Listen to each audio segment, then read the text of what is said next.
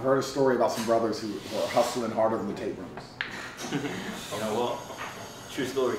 Yeah? True story. Yeah. So how did it go? It started when I was 12, he was 11. Third brother is not here right now, but he was 10. So it actually started through uh, cereal boxes, reselling cereal boxes in school. I used to buy them from random supermarkets, take them to school, sell them to my friends, double it for a profit. So I started there and then I eventually moved on to sneakers. Bought- Bought my, my first pair of sneakers. I waited in line actually six, seven hours for it. Wow. Then I took it out and I resell, uh, resold it online Yeah. through Instagram, website, just for family and friends originally. So we started getting our name out there. And then my dad wasn't a fan actually. My mum was the only person on our side. She was taking us in the early mornings, dropping us off to the malls, buying the pairs, waiting in line. And my dad wasn't a fan at all.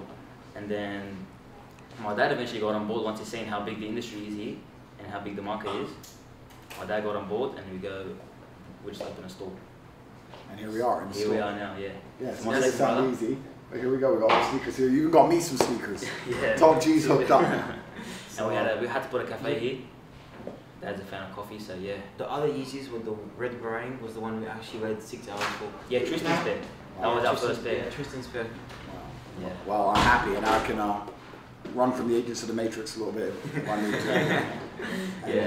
Yeah, Tristan's was really nice as well. So you have an amazing store here. Thank you very much. Proud of you guys. Thank you. Genuine. Thank you. Proud of you. And good coffee too. So Is it? you know, it's all going well. That's our part, parents' part, you know? Yeah? Yeah. They're doing a good job. Yeah, thank you very much. But surely this is what you learn in school, though, right, lads? Not at all. no, no, not at all. whoa, whoa, you're telling me they don't teach you how to make money in school? No, they don't. What do they teach you in school nowadays? They teach you how to be an employee. They, it, I don't know if school's changed a lot since my day. I feel old sitting here next to you guys, but yeah, they teach.